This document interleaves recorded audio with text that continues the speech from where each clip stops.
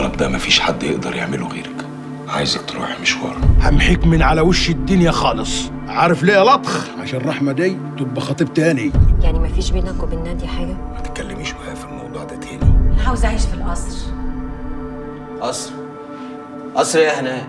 قصر العطار. المرة دي بقى يا جماعة النكتة اسمها مفيش صباع. لك يا مروان هو اللي علم عليك بالشكل ده؟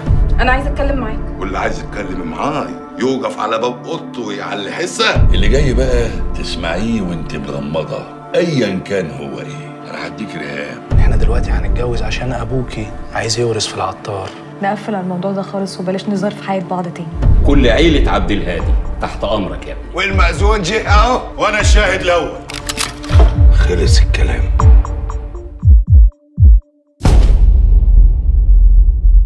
هو الحاج ما جاش ليه؟ لسه زعلان منه ولا إيه؟ سيبك من الحاج صبري. الله هو أنا مش مالي عينيك ولا إيه؟ ناقص تقول لي استنى لما أسأل عنك. لا زكريا انت أشهر من نار على العالم. أمال فين المأذون؟ وادي المأذون أهو. أه، والمأذون جه أهو وأنا الشاهد الأول. وادي البطاقه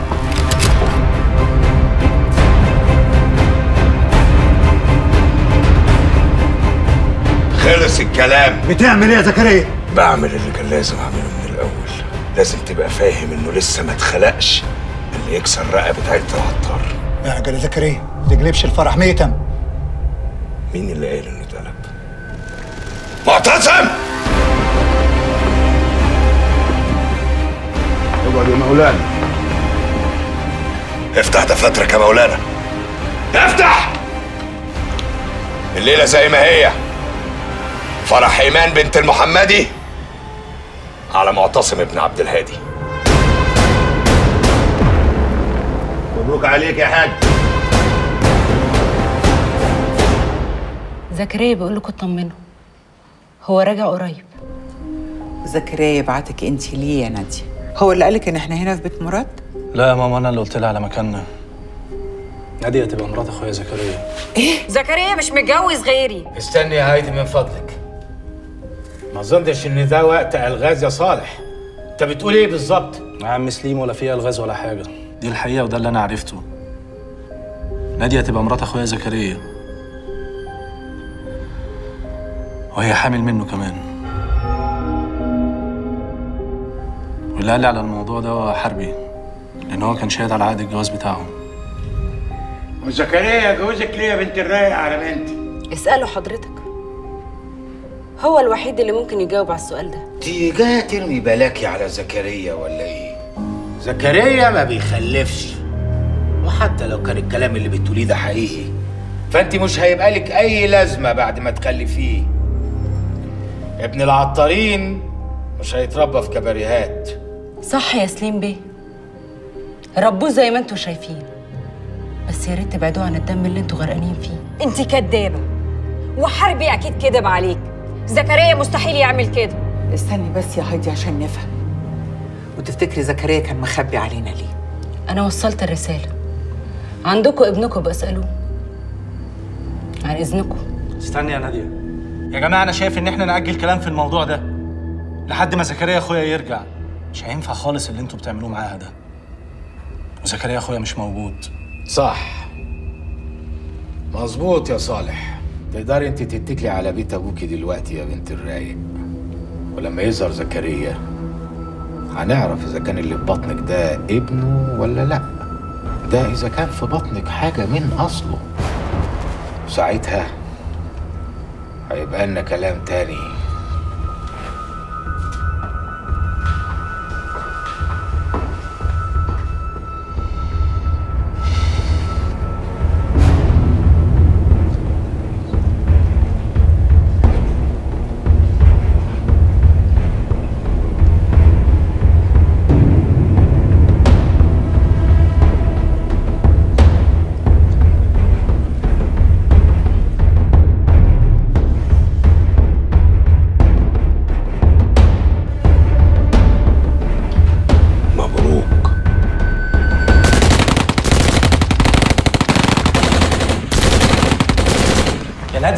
نادية قلت لهم ليه يا صالح؟ كان لازم يا نادية أقول لهم من حقهم يعرفوا. أنا عايزك هنا تبقي في وسطينا أنا لما عرفت موضوع جوازك انت وزكريا قلقت عليكي. لحد يعرف ممكن يعمل لك أي حاجة. وقعدت أدور عليكي ما لقيتكيش. فتأكدت إن زكريا بيحمي مراته وابنه. عشان كده سبتهم يدبحوا فيا؟ لا أقسم بالله ابدا. أنا كل اللي جه في بالي إن أنا عايز ألم الموضوع. أنا مش عايز زكريا أخويا أدخله في حرب تانية. يخسر فيها كل اللي حواليه يا ناديه ارجوكي زكريا لما هيرجع هيحل كل حاجة صدقيني.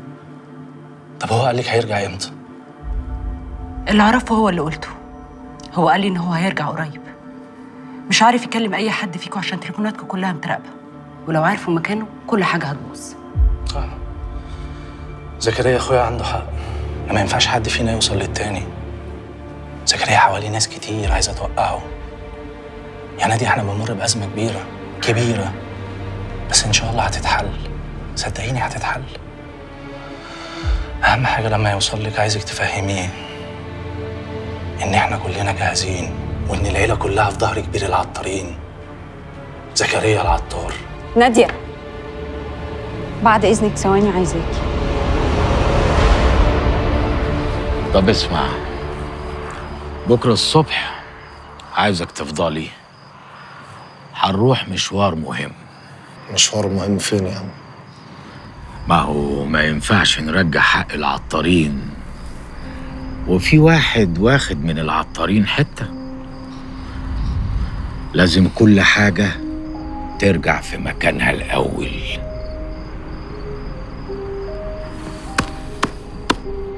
اللي حصل ده باطل. شرفت يا شيخ. ما تجربش من بنت يا معتصم فاهم؟ إلا برضاها يا حاج. خلونا في المهم. العمودية ترجع تاني لعيلة العطار. وده عشان ننسى اللي حصل ونعتبر إنه أصلا ما حصلش. عيلة عبد الهادي وعيلة المحمدي دلوقتي بقى ما بينهم نسب. يعني ننسى الخلافات القديمة. عايزين الخير يعم على الكل. أنا مش هغلط غلطة أبويا تاني. وانت يا حاج وفيق. اوعى تفكر تغلط غلطتك دي تاني. عشان لو حصل أنا همحي عيلتكوا كلها من الوجود. التجارة والعمودية هتبقى في إيد عيلة العطار زي زمان. الأراضي هتبقى تحت إيديكم أنتوا الاتنين. شرق الرشاح هتبقى لعيلة عبد الهادي. وغرب الرشاح هتبقى لعيلة المحمدي. ده كلامي. إيه قولك يا حاج. نقرأ الفاتحة. جريت قبل كده. غصب عني يا زكريا. يبقى تقراها المرة دي بمزاجك. ها؟ إيه قولك قلت إيه يا عم الحاج؟ إحنا بقينا نساي. ما تبصليش كده. نقرأ الفاتحة. ليه يا ناديه حبيته. أكتر ما أنا حبيته؟ يمكن. بس هو حبك أكتر. كنت دايما بشوفك في عينيه كان كتير قوي بيغلط وبيقول لي يا هايدي. كان معايا بجسمه لكن قلبه وعقله معاكي أنتي. اللي بيحب ما بيخونش. زكريا ما خانكيش يا هايدي أنا اللي كنت بحبه وأنا اللي كنت عايزة أبقى معاه. يمكن يكون حب فيا حاجة ما لقاهاش فيكي. بس أنا متأكدة إن كل لحظة كان نفسه يبقى معاكي أنتي. كتر خيره والله. واللي زيك بقى كده كان بيحس إنه نايم مرتاح وهو واخده من بيته وأهله؟ بس بس بس. إيه الطريقة دي؟ ربنا ساعات بيحقق أحلامنا.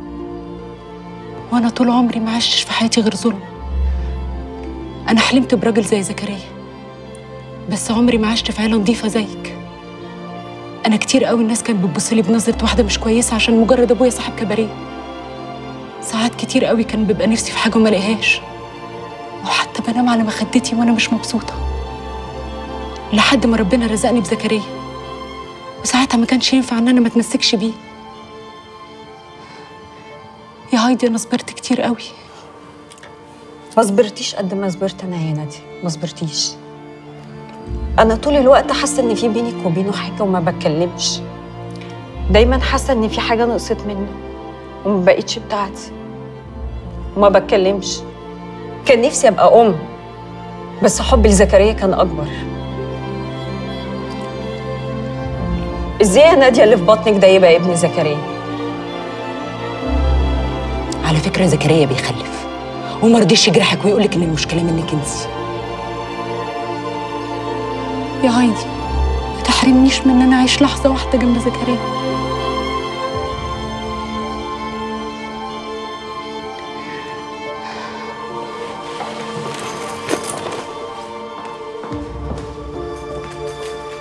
أهلا أهلا أهلا يا سليم. أهلا وسهلا. اقعد يا فارس.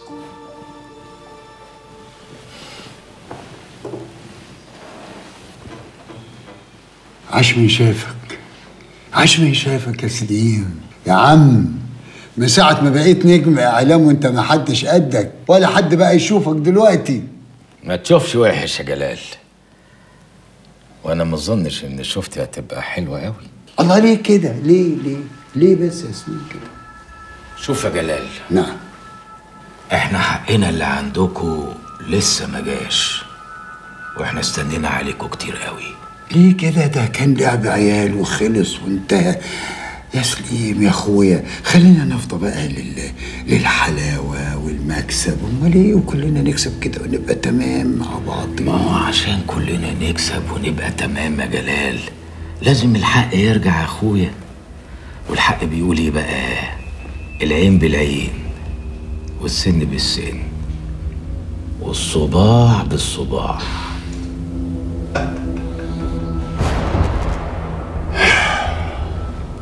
ماشي السكة دي يا سليم.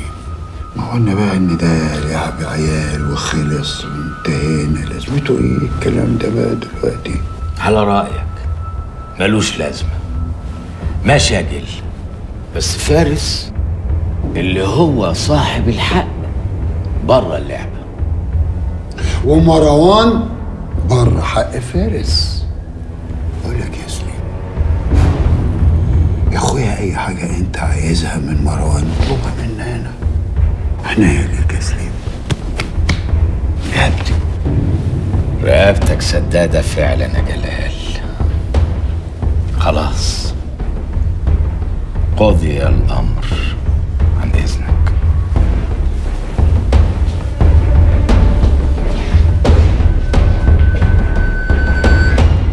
لا والله. ادخل. سيب بين عزازي بره يا باشا. خليه يدخل يا ابني. اتفضل يا باشا. أهلا أهلا يا سيف بيه. ازيك يا يوسف بيه؟ تمام. والله ليك وحشة. لو كنت وحشتك كنت سألت عني. اتفضل. فينك كده؟ أهو. بعدوني عن القضية. أحسن.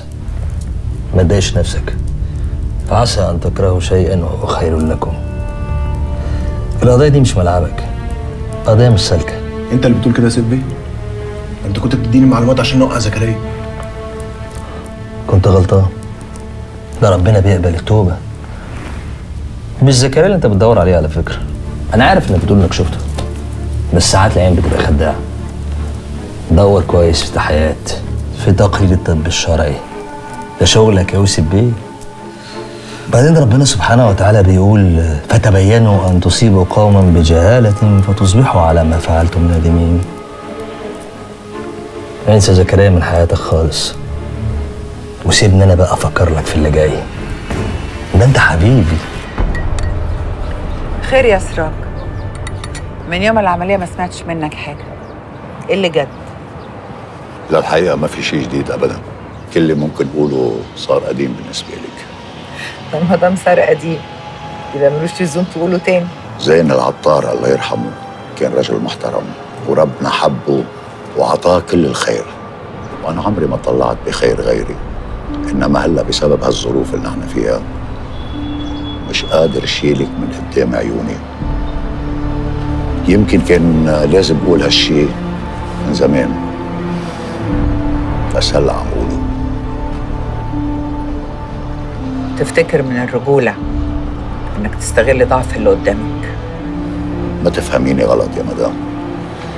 أنت بحاجة لرجل يوقف حدك. وانت عارفة إني قد هالحمل. يعني أنت كنت مستني اللحظة دي إن زين يموت وإن أبقى لوحدي وتفتكر إني ضعيفة؟ على ما يبدو فهمتيني غلط. أنا جاي أطلب اللي كان لازم أطلبه من زمان. لو كنت عرضته زمان كان هيبقى طلب مرفوض. زي ما هو دلوقتي برضه طلب مرفوض. عشان أنا زي ما أنا. ما اتغيرتش عن زمان. وعمري في حياتي لحد ما أموت ما هسمح إن اسمي يرتبط باسم راجل تاني غير زين على فكرة طلبك ده ما زعلنيش بالعكس. ده خلاني أعرف إني لسه بحب زين وهفضل أحبه لآخر يوم في عمري. وإنه بعده وفراقه ليا. لا ضعفني ولا هيكسرني. بالنسبة للكسر معاش ولا رح يكون اللي يكسرك. هيدي مضمونة. نورتني يا سراج شكرا على استقبالك.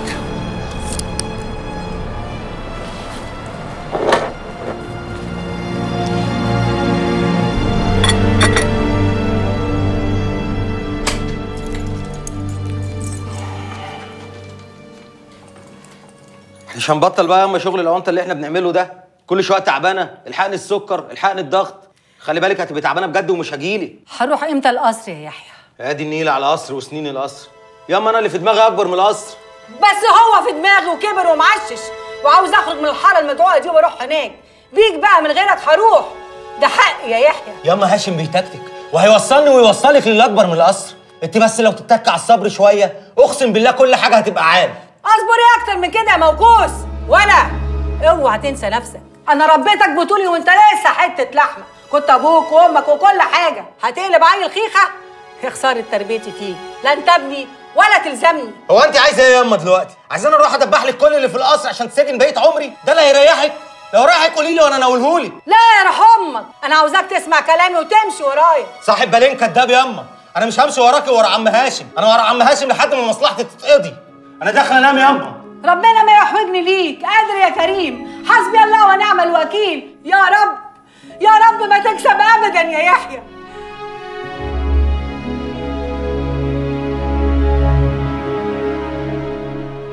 ليه ياما ابتدى عليا ليه؟ ده اللي أنا فيه ده كله بسببك انت ياما ده أنا مش عايش غير عشان ارضيكي وبس. انت السبب في كل اللي بيحصل لي ده. انت اللي رضعتيني كوره زين العطار. علمتيني إن دمه حلال. وان عداوته ايمان بربنا اللي ما بينساش. ما علمتنيش أبقى مكانه. ولا خليتيني أحلم بالقصر. وأتمنى أبقى عايش جواه. حرام عليكي بقى يا اما كفاية. صعب قوي كده يا أم وحي. ربنا ما رضاش بالظلم. ما رضيش بالظلم اللي هو عمله زمان. ولا هيرضى بالظلم اللي انت عايزة تعمليه دلوقتي. أنا سيبها لك وماشي يا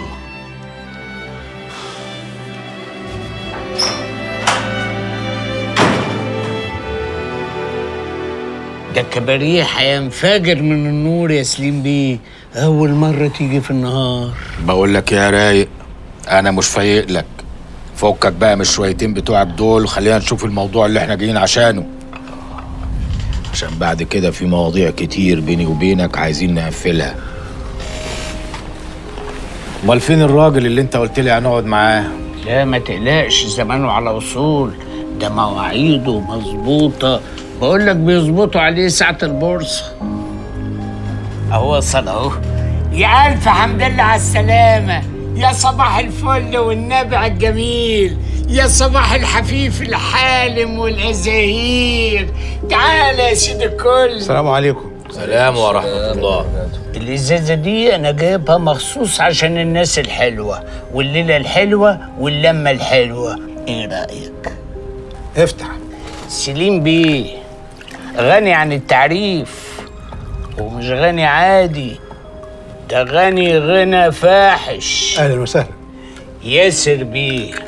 أستاذ الكيمياء اخصائي في استيراد المركبات اللي بتسحل الدماغ. الساحل ده سموه عليه آه. أهلا وسهلا. آه. اصب لك يا مولانا. جرى فتحي. ما أنت عارف ان ماليش في الخمرة. خش الموضوع على طول. مش كفاية إنك قعدنا في المكان الموجود ده. استغفر الله العظيم استغفر الله العظيم. خش يا عم خش. مولانا سيف العزازي. أنا ما تقول انت الكلام بقى يا ياسر بيه؟ زي ما قال فتحي كده أنا وأعوذ بالله من قولة أنا أنا راجل بتاع كيمياء. ما شاء الله. وعلم الإنسان ما لم يعلم. لا وإيه وصنع محلي كمان. اتفضل يا باشا. وكله موجود. ال إس دي تي إتش سي. عاشت الاسامي دي ماركات عربيات دي ولا إيه؟ يا رايق ده الجيل الجديد من الكيمياء. وكله موجود. البضاعة موجودة والسوق عايز. والبضاعة موجودة أكتر. وبتقول عايز اللي يشيلني. وأنا عايز حد يساعد معايا. هو يشيل فلوس وأنا أشيل التوزيع. والتفاصيل اللي جوه دي نتكلم فيها بعدين. جراية فتحي. هو أنت ما قلتش لياسر بيه إن عيلة العطار ما بتشتغلش في المخدرات؟ قلت له يا كبير. بس آخر مرة شفتك فيها حسستني إن حاجات كتير ممكن تتغير. الله يرحمه زين. كان دايما يقول إن الرصاصة تقتل واحد بس إنما سرنجه واحدة ممكن تقتل مية. لأن مفيش حد بيضرب إلا لما بيخلي اللي حواليه كلهم يضربوا هم كمان. الله يرحمك يا زين بيه وينور قبرك يا رب. بس يا سليم بيه كل وقت اذان يبقى نفرش السجاد ونصلي مع بعض العصر جماعة. جرى يا فتحي ما تظبط بقى. الجيل الجديد ده مش بيموت يا سليم بيه ده بيعيش. بيعيشك في رحلة تلف فيها حوالين العالم وانت قاعد مكانك. وبعدين إحنا ما بنضربش حد على إيده. عرض وطلب وأنا بياع مش أكتر. يمكن في أيام تانية وظروف تانية ما كناش حاطين إيدينا في إيدين بعض. إنما إحنا النهارده. إيه المقابل؟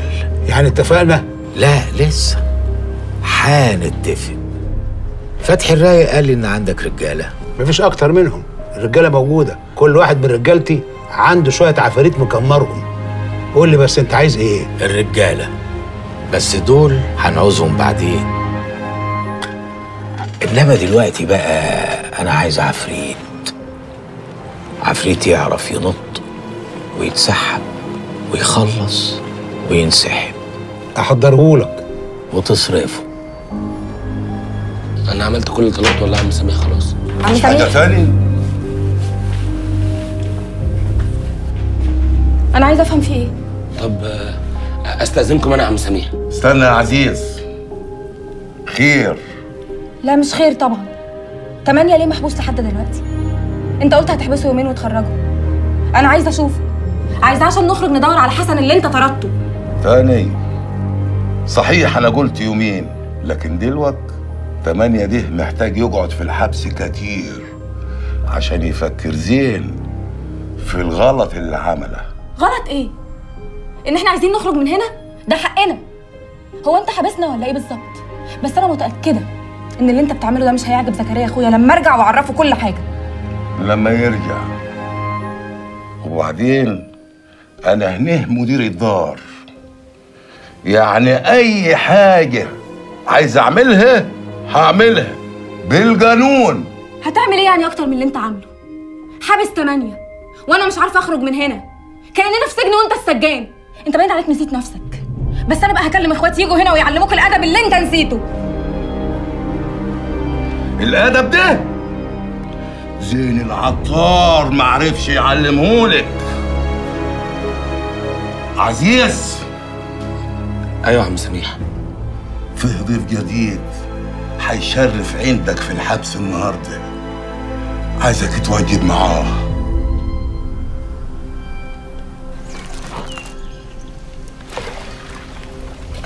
إيه اللي واخدك مني يا حسن؟ اللي واخدني منك؟ ولا أنا اللي واخدك من مين؟ دي فزورة؟ لا مش فزورة. أنت مخطوبه لابن بحر؟ لا يا حسن. ليه شعبان ابن خالك بيقولوا إنك خطيبته؟ شعبان واد خالي. وخالي طول حياته يقول شعبان لرحمة ورحمة لشعبان. أنا أبويا عمره ما قال لي إيوه. ولا أنا قلت. بس هم مستنيين رد وبيتعاملوا كأننا متجوزين. رحمة. أنا عايز أتجوزك. صح صح يا حسن. أيوه صح صح هو الجواز فيه صح صح ومش صح صح أنا أكيد مش هستنى لغاية ما شعبان ده يجي يخطفك مني. بتحبني صح صح أيوه صح صح فيها مش صح صح يا بنت أنا بقيت من مجاذيبك أنت بقيت المقام اللي أنا بقول لي قبلتي ليه. أنا كمان بحبك يا حسن. وأنا كمان بحبك. هتفضلي جنبي؟ لحد آخر يوم في عمري.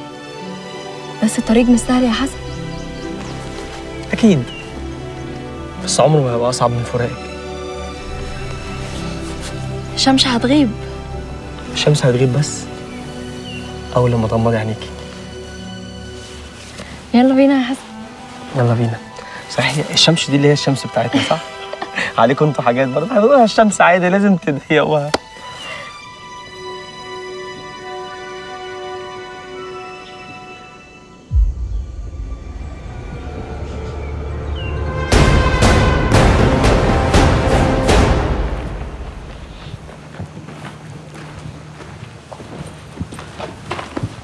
بالله عليك يا ست ياسمين ما تزعليش مني. وسامحيني. وما تقوليش لحسن إن أنا عملت كده. فين حسن بس؟ هيرجع. أكيد إن شاء الله هيرجع. ما تقلقش. أنا فاهمة إن أنت مفيش حاجة في إيديك. اتفضلي. اتفضلي يا ست الكل. اتفضلي يا أستاذة. تمانية أستاذ ياسمين. بالله عليك ما تجيبي لي الكلام وخش زنزانتك. على راس أنا آسف. اتفضلي.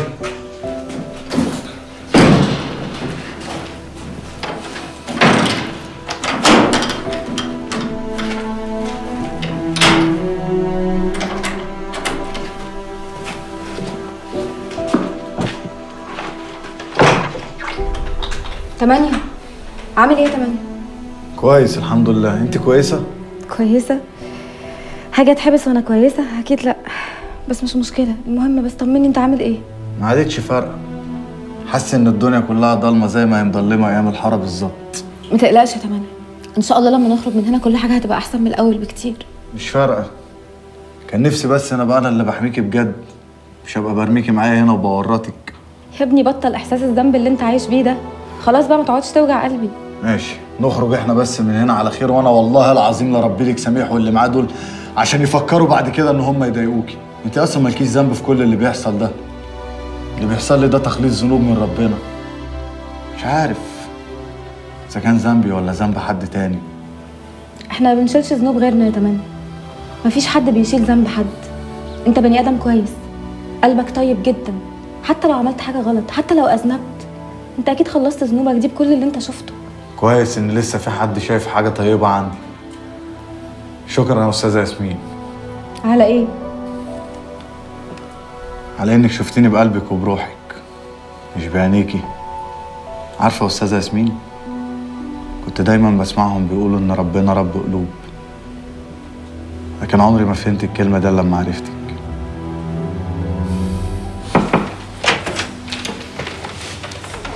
إزيك يا صالح؟ إيه بقى الحكاية اللي ما ينفعش تتأجل لبكرة ولا تتقال في التليفون؟ بنتك غيرت كلامها. مش عايزة تكمل. هي اللي مش عايزة تكمل؟ ولا انت اللي مش عايز تكمل؟ لا أنا عايز. وحاولت ومعرفتش. الظاهر كده إن القصة دي مش مكتوب لها نهاية سعيدة. مفيش راجل ذكي يا صالح ما يعرفش يوقع بنت لو هو عايزها. هو أنت ليه مش عايز تصدق إن أنا حاولت ومعرفتش؟ بنتك خلاص ما بقتش بتحبني. أو بمعنى أصح بقت بتكرهني. ماشي. براحتكم. أنا مش هجبركم على حاجة. بيني وبينك بقى أنا كنت بس عايز أشوف خلفة زين العطار فيهم حد شبهه ولا لأ؟ طلع مفيش ولا واحد فيكم شبهه. الكبير خيبان وتهوره وداه في داهية والوسطاني خايب ملوش شخصية ضعيف مش عارف يوقع حتة بنت. خلي بالك على كلامك يا هاشم أنا ما اسمحلكش. ولا تسمح لي. بقول لك إيه مش عايز أشوف وشك هنا في الشركة ولا في أي مكان تاني. يلا عن إذنك. أنا مش فاضي أنا مستعجل. وأنت خلاص يلا خلينا نمشي. طب آه، الكلام ده ما كانش ممكن يتقال في مكاتبنا ولا إيه؟ محدش عارف مين متراقب دلوقتي يا جلال. وإحنا كلنا العين بقت علينا. طب آه، قول لي أنت فكرت؟ إلا فكرت. دي تقريبا أكتر مرة أقعد أفكر فيها في حياتي بعد الفترة اللي قضيتها في الحبس. وخصوصا الليلة اللي بيتها في التخشيبة. فاكرها طبعا. انت إيه اللي خلاك بتنخرب يعني في الماضي؟ مش مش إحنا كنا عدينا الكلام ده ولا إيه بس؟ أصلهم بيقولوا اللي ملوش ماضي ملوش مستقبل. وعشان كده أنا اتأكدت إن أنا عمري ما هاخد خطوة لقدام إلا لما أحل مشاكلي القديمة. والمشكلة اللي مش هتتحل هخلص منها خالص. أنت ناوي تقتلني؟ طب طب ما أنت هتروح في ده. لا. من غير ما أروح في داهية. حلو كرسي زين اللي أنت قاعد عليه ده يا عبد الله. ولا واسع عليك. ما تتضايقش قوي كده. أنا بس بطمن عليك. لا تطمن يا هاشم بيه. كله تحت السيطرة. ومعانا بدل الراجل مية. ونقدر نحن بنفسنا زين اوعى تفتكر إن الرجالة دول هم اللي مخلينك قاعد هنا. لا.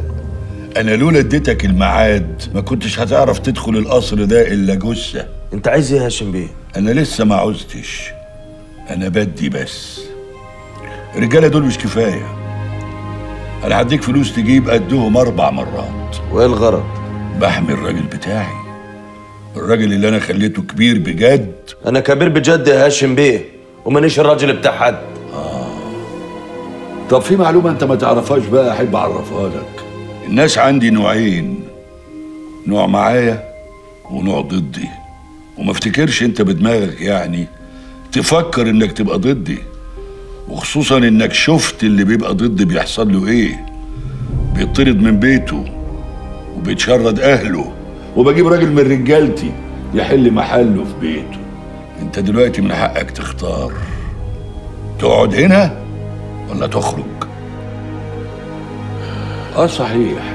أنت ما فتحتش الأوضة اللي كان زين قافلها طول عمره دي؟ لا ملهاش قفل مقفولة برقم سري. انت بتهزر يا غزال الأوضة دي فيها ورق مهم ودي أول حاجة هعوزها منك. يا فندم يا هاشم بيه. تجيب راجلين تلاتة تكسروا باب الأوضة دي وتركبوا لها قفل وتجيب لي مفتاحه. حاضر يا هاشم بيه. وبعدين يا هاشم بيه؟ وبعدين إيه؟ مش عايزينهم يشموا نفسهم. حاضر. كله بوقته. لسه اللعبة هيحلو.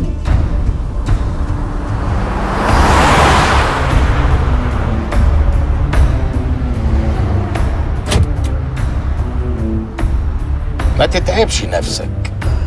السنتر لوك مقفول.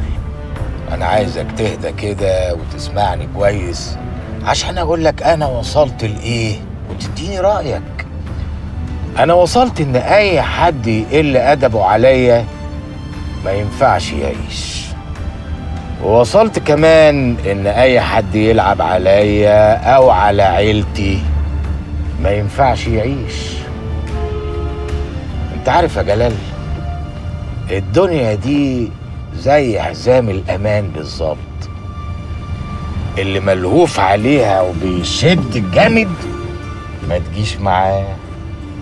إنما بقى اللي يشد بالراحة كده بيجي معاه في يا سليم مفيش حاجة. وبعدين أنا وصلت خلاص. وصلت إن أي حد يحاول يكسر عيني أو يكسر عين حد يخصني ما ينفعش يعيش. وفارس يخصني يا جلال. قضي الأمر.